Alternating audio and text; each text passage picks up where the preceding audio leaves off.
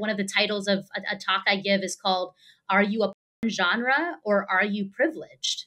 Because white is often not a genre in mainstream, but mm. Japanese is, hentai, Filipino, BBC, Ebony, Indian, Chinese, Korean. Um, and what does that say then?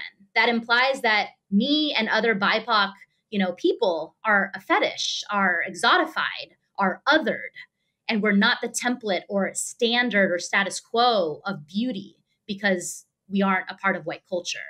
And you know, what are the implications of that, and how might that actually amplify racism? when you also have literal dopamine hits that are occurring as you are pleasuring yourself to racialized tropes.